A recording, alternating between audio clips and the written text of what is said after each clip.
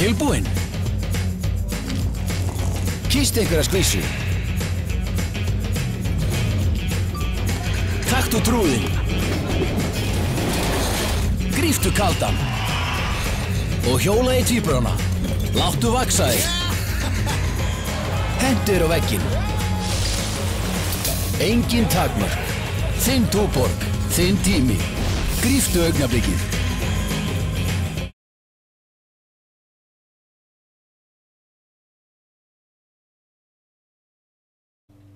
Það er ómúlegt að segja.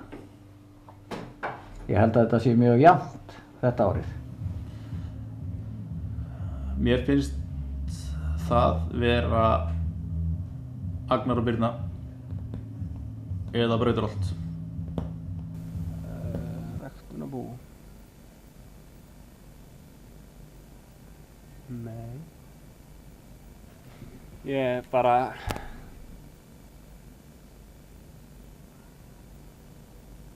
Þetta ekki alltaf sama bara svona sömu búin standa upp úr en það Mér finnst ofslega mörg bú hafa staðið sér vel og þarna og virkilega gaman að sjá svona nýbú og svona smerri bú sem er að standa sig.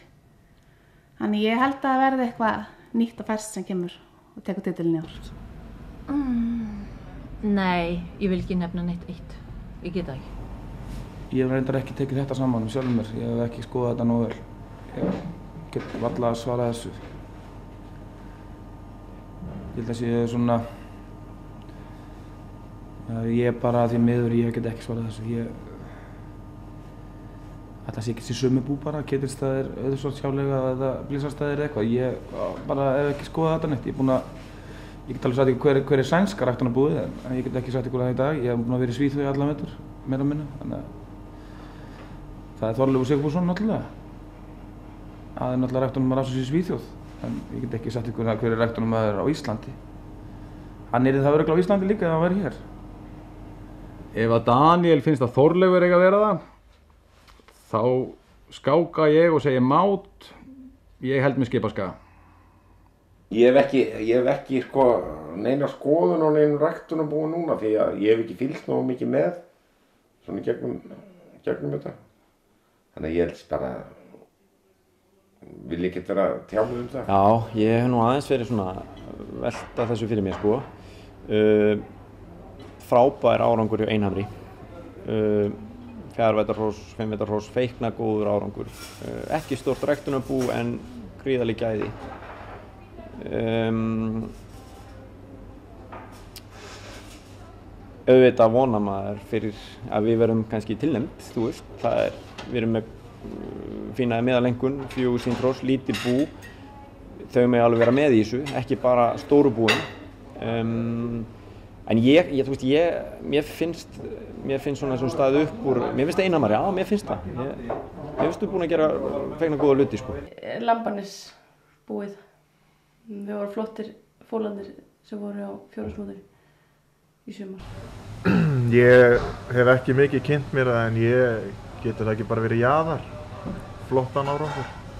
Ungar, ungkross. Ég held að rektorinn bóðsins hljóti að vera auðsóls hjálega. Gunnar Arnarsson og Kristbjörg Guðjóns Efinsdóttir. Ég held að það kom engin nálægt með þeim í hvað rekord var þar á árinu. En það kom mjög mörg á nýbúinn sem er gaman að, gaman að sjá.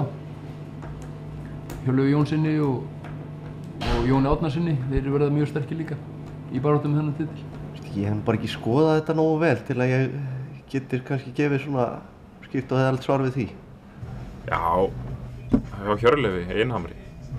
Virkilega flottur árangur hjá honum. Það er hann er þarna með mjög lágan aldur og mjög hátt meðaltal líka.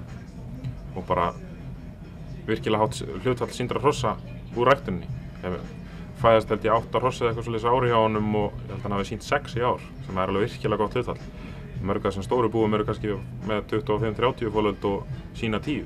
Herðu, ok, það er bara auðs, auðsholt sjálega. Já, allir það ekki, en það voru mörg góð. Það voru eins og svona, já, það voru svona drjúkt hjá mörgum, eða ekki. Var ekki Berger og Úli líka góð? Flotta meira frá þeim, klárið sem ég sá í vor. Svo bara svona, já, já, ég veit ekki annars. Ég held að það sé auðsóðsjálega.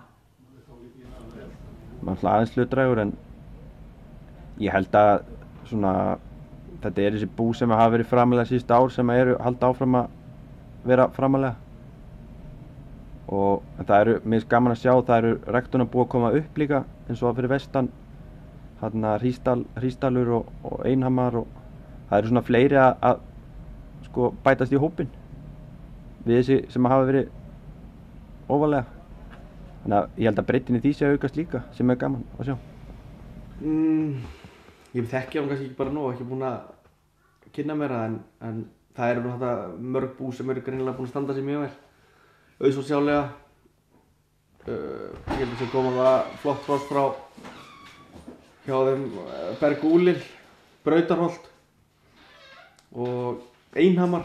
Það er fullt af flottu búum. Ég, ég er alveg pottitt ekki að tellja það allt upp sem að er, er, er búið að koma með fullt af góðum frásöldum til dóms.